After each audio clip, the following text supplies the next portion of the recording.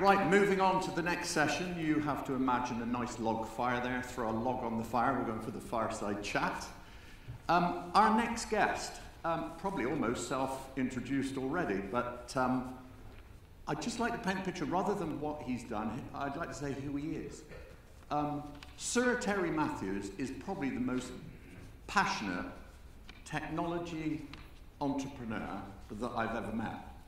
Somebody who is always inquisitive, somebody always wants to find the way, and finally, a person who makes big things happen that others look at and think is not possible. So, just a little bit of background. Uh, founder and chairman of Wesley Clover, which is his investment company. Terry has invested in over 100 technology companies across a whole spectrum of TMT. You will know a number of the names that Terry has founded. He founded Mitel, which he still chairs, an enormous company that has a big impact on our, on our industry. He founded Newbridge Networks and sold Newbridge Networks for multi-billion, multi-tens of billions. Um, he has also innovated in a huge number of other smaller and still um, invests in smaller companies. And I'm sure through our discussion he'll share his thoughts on, on doing that.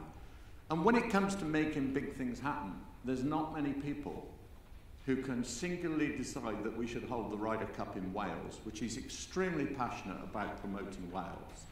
Put Wales on the map in one of the nicest hotels in the country that Terry has created. And you add to that, because we're going to talk about complexity and managing and taking risks, is to hold the G8 summit at your hotel is no mean feat because there are one or two risks and there is a challenge. And Terry's done all those. So, Terry, welcome to the stage. Welcome to the Fireside Chat. Thank you for coming.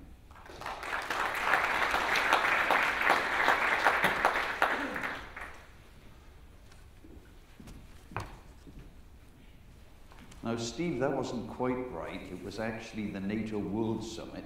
Ah, close. And I, I don't think anyone would have ever had a convention or a conference with a couple of aircraft carriers as part of the convention. That's kind of on the heavy end of the scale. But uh, what an unbelievable uh, event that was.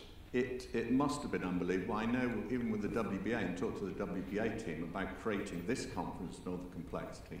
And navigating and having ships uh, with all the firepower to protect the NATO well, summit must have been unbelievable.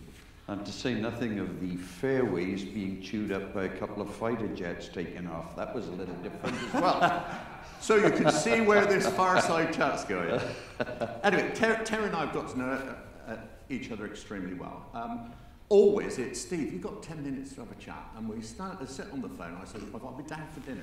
Hour and a half later, and I was in a restaurant, and Terry was, oh, Steve, what about? And I go back into the restaurant, and he gives me advice then of what to say to my wife in returning. So this is the sort of passion and guidance that you can get. It's about fun. About fun. So Terry, let me let me ask a question. You you've seen it. You've been party to a little bit of it this morning about the amount of change that's going on. And I've watched you scribbling. I've watched you with the phone calls. Why does all this change interest you so much?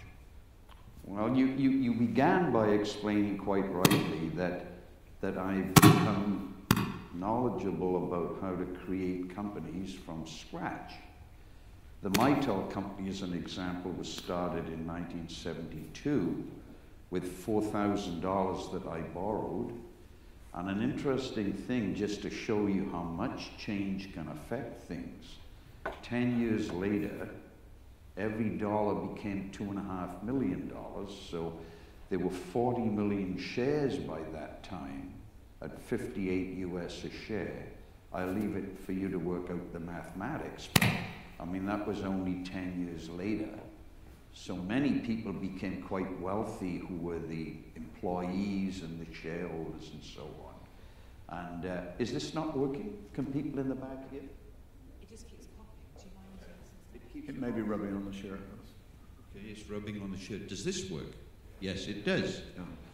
Yeah, so, so my, my history of starting companies up, and just as David mentioned earlier, I, a huge part of this is when there's change. If there's no change, then you're dealing often with very large companies that have boards of directors, chief execs, VPs, EVPs, managers, and so on. And the time cycle, the time constant to a new product might be many years because you always go back and say, Do you have the budget to do that? Whereas a small company has no baggage, no clients. They're basically a little guerrilla team. And the more changes there are, the more upside opportunities there are to go after the client, listen to the client. Remember, this would be client pull, not client push. So, what are we dealing with here? Like just within the, uh, the presentations today, you're dealing with what did we call it? Wireless? Was it, uh, was it Wi Fi? Was it some 5G? I mean, good God, the growth, the demand for network capacity has gone through the roof. We can all relate to that. And the need, therefore, for changes, and therefore the important thing for anyone in it to understand there will be some new companies that come up because the change allows them to get in. And there will be some very valuable companies that come out of that. So my entire career in business, as soon as I started the first company, has been taking advantage of change, listening to clients. If a client says they want something and you deliver it, they'll probably buy it. So that's a philosophy that I follow. So I want, I want to talk a little bit more about that. Okay? I know that most people in the room set will be thinking, how does he do it? Because I think that's how does he do it? Mhm. So what's your personal technique of being able to navigate what's the right opportunity? What, what do you personally do? I Listen, watch your listen to clients. Yeah. First of all, listen to clients. Relate to people. And by the way, persistence, the single most important word to success. Persistence. You never give up. And I am an extremely persistent individual. And then with a team, make sure you share the rewards. That's an important piece part. The problems are for the large companies that don't move quick enough. Now, in this particular industry, it is going to move very quick. Today, it's a mess. I mean, what, what, what, what did you work out of a path out of this, this extremely complicated environment? And connectivity is a global thing. It's not just a city, not just a nation. It's a global affair that you're dealing with. So this is a global issue. Who's running it? Who's controlling it? So that takes us to another point. Is this a GSM thing? Ah, it's an interesting thing. Or is it a Wi-Fi association? Or is it in fact like the broadband, uh, wireless broadband alliance? Who, who's running this? Well, we, we, we know that if you look at the competitive landscape of the global cloud players, cloud means global. Right, Telco often means country.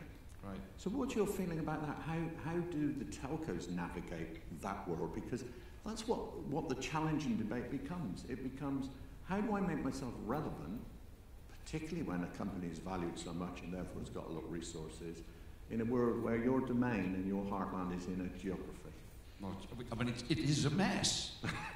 Yeah. If I take you to the Champs-Élysées in Paris, there's free Wi-Fi. We talked about New York, there's free Wi- How do you make money out of that? Yeah.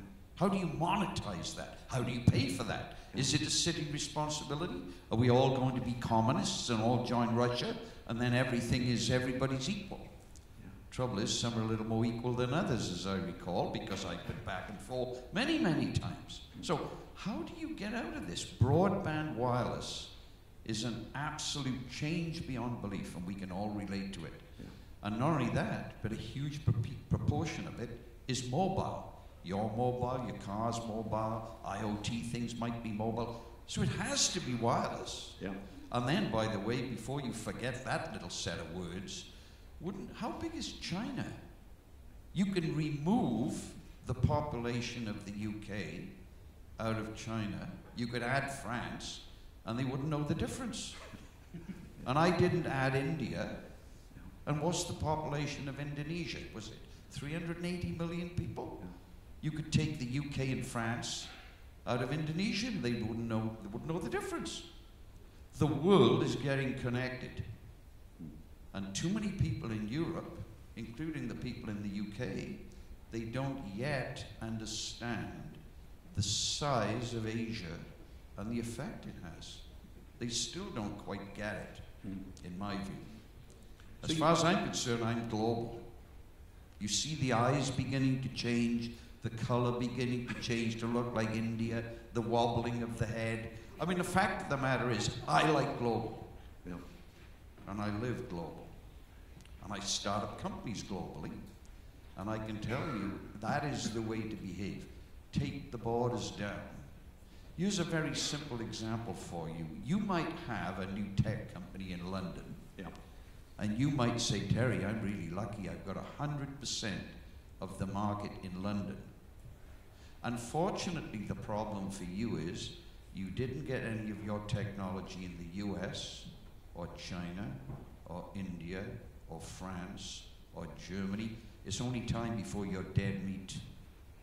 The important thing is if you've got something which is differentiated and, and a desirable thing by clients, you must find one way or another to take it to other borders, and then you gain the low hanging fruit. Then somebody from Silicon Valley that might even have a better product. They try to land in France, they try to land in Germany, they try to land in China. Unfortunately, the low hanging fruit's gone, then they have a massive uphill battle. You must land and expand fast in the today world. Yeah, we heard that from David with the pace, the need for innovation. Right. I, I'm going to take you another avenue now because there's so many interesting things we can talk about by this fire. Um, you talked about India and you talked about the pace and change. Um, there's massive challenges in amongst all this exciting 5G of the unconnected. You've got it certainly with India and places that have got massive expanses of land, but you've even got it in UK. And you've got it in your homeland, in Wales. Um, you know, an enormous amount of, of villages are challenged. What's your feelings about with technology and how the use case, business case, how, how can we improve that situation? Well, first of all, think about a farm. Think about a, a village somewhere. Uh, the fact is, wireless, there are, there are many long range ways of using wireless. I mean, we talk about, for instance, LoRa as an example. Yep, I know, it's very low, low bandwidth, got it. But it has huge advantages. How about street lighting? Much of it going to LED, LED going on and off with the daylight, powered probably most of the time now with ducts. So if you go down the road five or ten years from now, just the power savings by moving to LED lighting would be huge for any government. And then on top of that, if you say, well, I'm going to have networked automobiles, well, don't they go on roads? Don't the roads have lights? Don't the lights have power? Don't the lights have ducting? I mean, how do you pay for this stuff? It could be that there's some special relationship with towns, villages, cities. Yeah. More often than not, the government pays for the lighting. Much of it might be paid just by the re- reduced power costs by moving to better lighting. And by the way, if it's networked, if you say, well, you know, the power, can the power be backed up? Even if it's not backed up and there's outages, people can still live with that. We heard earlier on, uh, you know, can people live without Wi-Fi? And that's a very good question. I'm beginning to think I'll shut off Facebook and Netflix at work because I think the economy would shoot up. It's not a bad idea. Well, I, I, t- I told you this, and I told a few of the audience when I came into the hotel. This is the significance of Wi-Fi, and the receptionist said to me, "Oh, you were going to a conference. Which one?" I said, "I work around the future Wi-Fi." They said, "You are my saviour." You know, suddenly I found out that I was important. Yeah. Um, probably the most significant thing. The, the, uh, on that rural aspect, have you been involved in any technology innovations to bring to rural communities more broadband? And, I, and the reason I ask that is that with cloud, it means more and more services are going to be available and need to be available through broadband. My, my mother, for example, without internet of any great such as 85, she can't buy your things organise. Somebody else got to do it because she hasn't been able to get that connection where she happens to be, and obviously she's got a challenge. But there's an enormous amount who could do it, but haven't got the ability. So you could be in rural villages, not enough broadband capacity, to not do the things that we are creating. Mhm. So have you seen any of that? Well, I, I have a couple of things to talk about that. I started up a company called Dragonwave in Canada. It was the first company to do meshed backhaul. Yeah. You have a downpour of rain, cut off, you just reverses the uh, the network. It's not it's not hub and spoke, and so that makes it much more reliable. Let's say for any particular area. That that was very popular in the United States. Again, to get to areas that were otherwise not so easy to get to. The other thing that's very important in my history was the changes that happened in Cornwall Right. with European Union and BT funding, where fibre to every premise was put in. Now that's been in now for well over five years, but after five years, they checked the economics.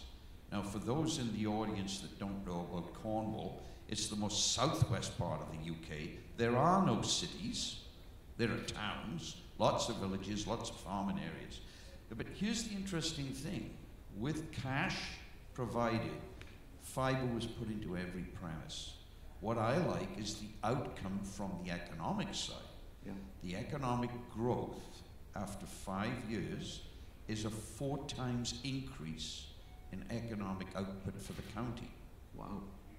There's a little thing in my mind, therefore, that speaks about countries and cities. Take London. I mean, by far, in many finance sectors, the leader on the planet. If it's not brought in in an optimum way, someone else can take out the City of London in different sectors because they're just better networked.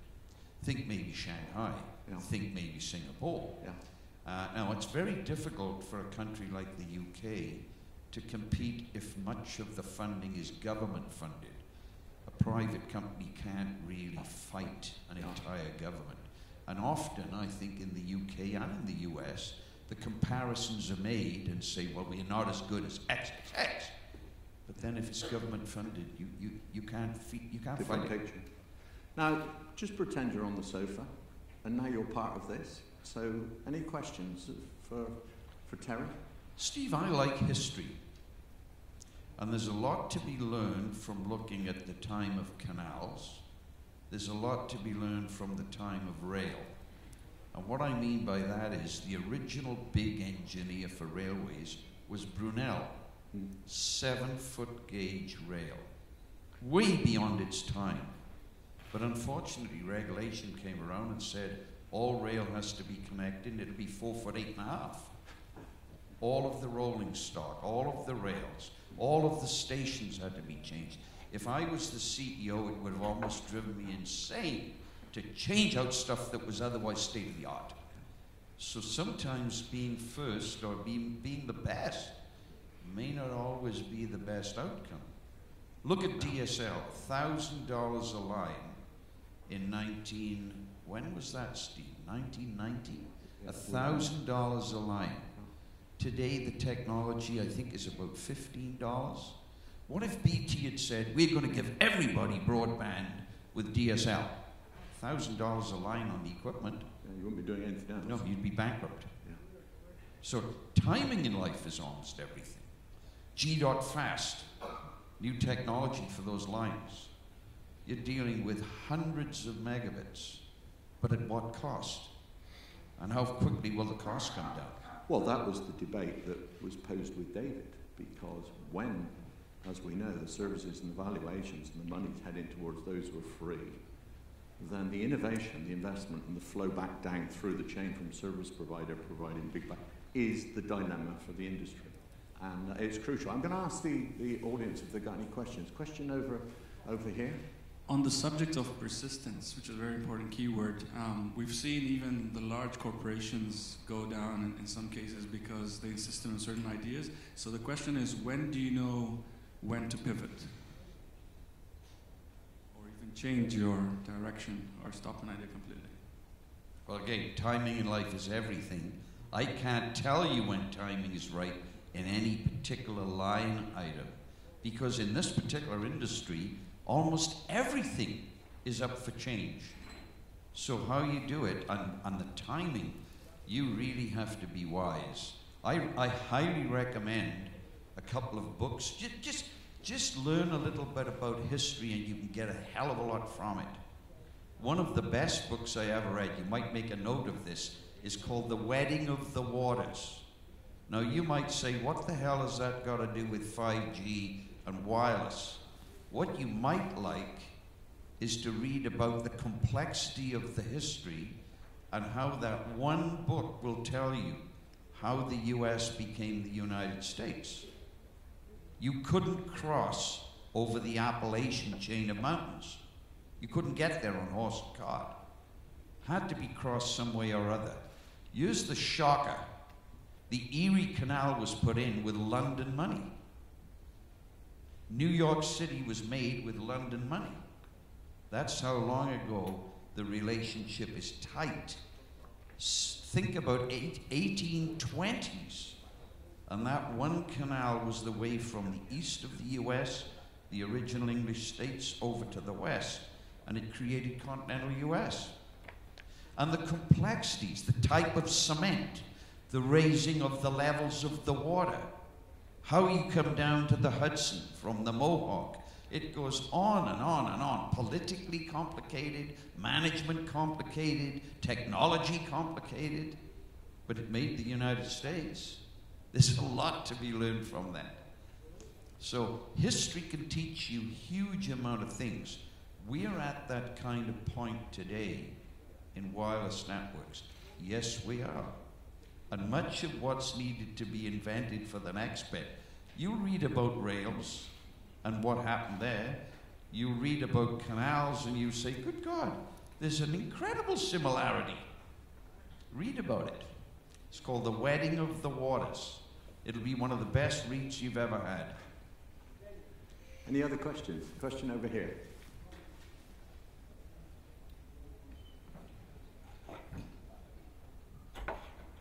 Terry. So, um, in, if you go back through history, sorry, who am I speaking to? Sorry, Richard.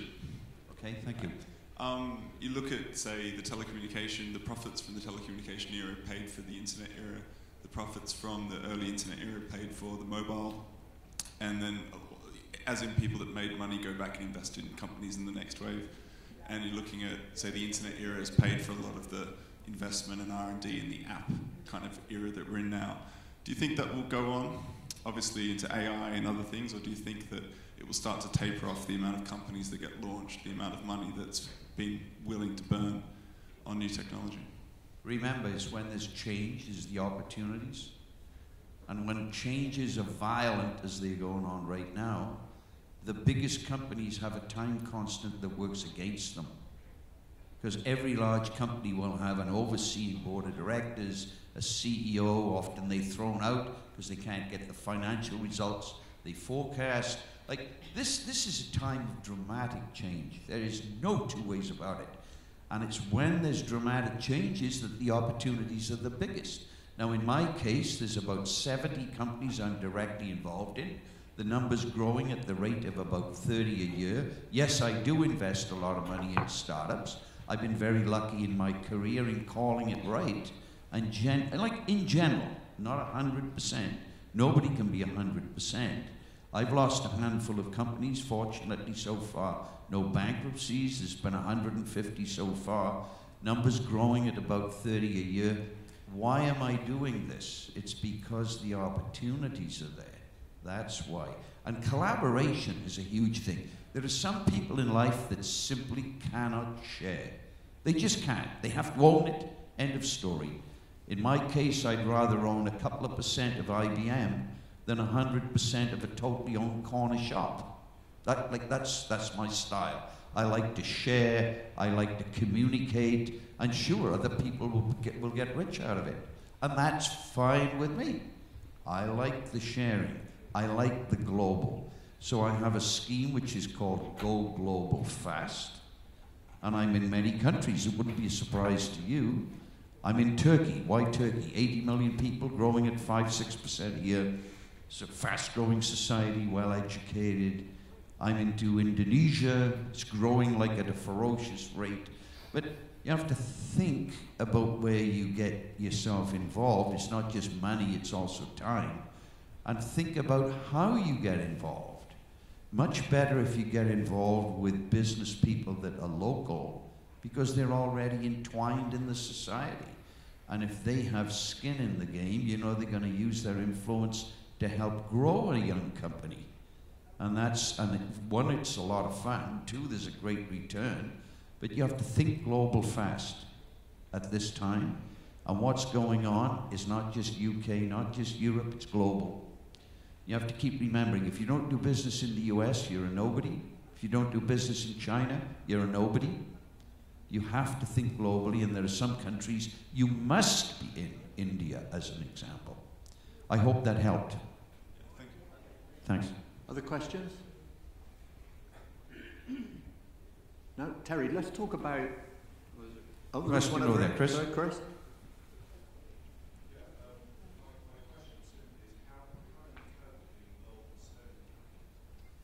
Well, it's easy. Look at the hump. See the hump on the back?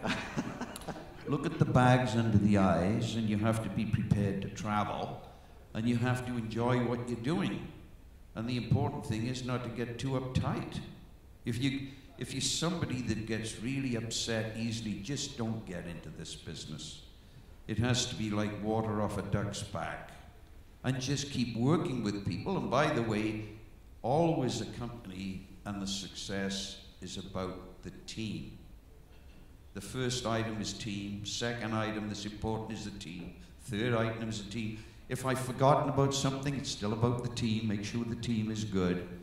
I mean, you imagine starting up a hotel, and, and, I'm getting back to this simply because of the team. So you think about this team. It's at Newport, which is a rundown industrial town. For six years out of seven, it's been the best hotel in the UK. Are you serious? It pulled in the 2010 Ryder Cup. Are you serious? It pulled in the NATO World Summit with two aircraft carriers in the Bristol Channel, fighter jets on the fairway. That little bit, frankly, I would have changed, but you have to take it with, you know, what it comes with. You imagine 53 leaders around the world sitting at that hotel. And a funny story, I asked my partner Simon Gibson to make sure that he talked to the Prime Minister of Canada, that I was waiting to see the Prime Minister of Canada. So Simon very nicely he just said, um, Prime Minister, unfortunately everyone turned around. They were all Prime Ministers.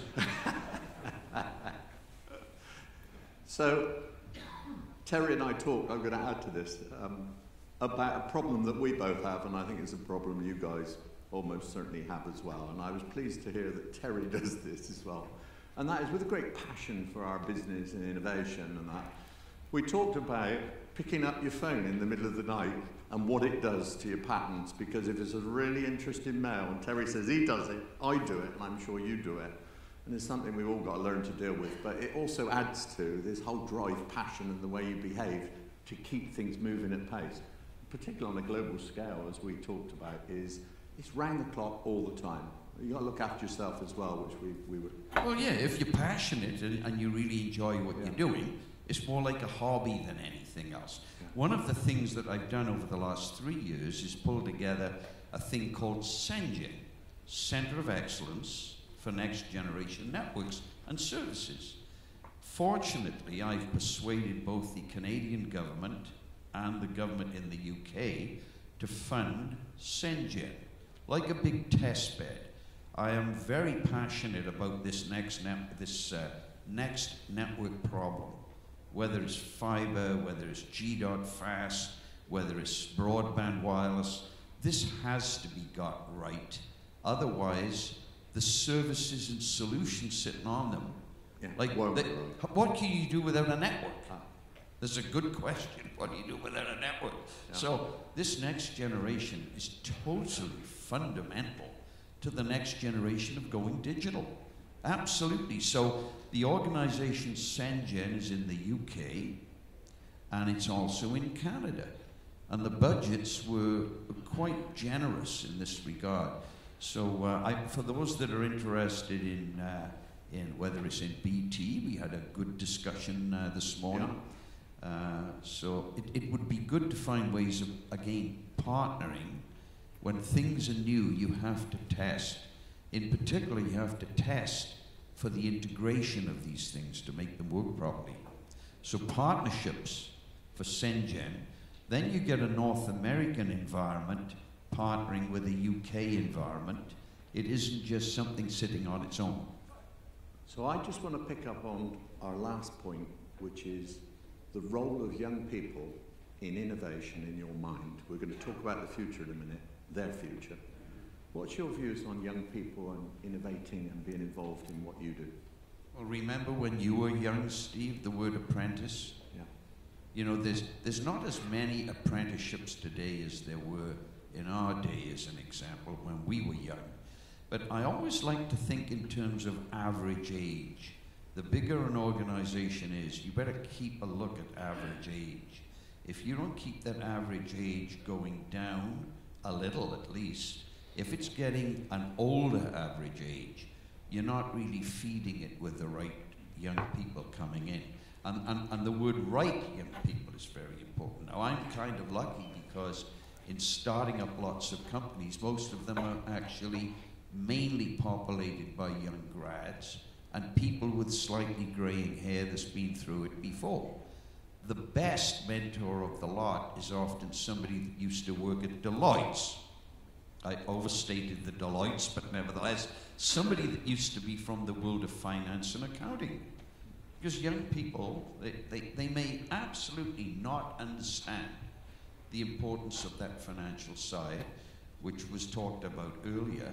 The other thing is the importance to remember it's about sales.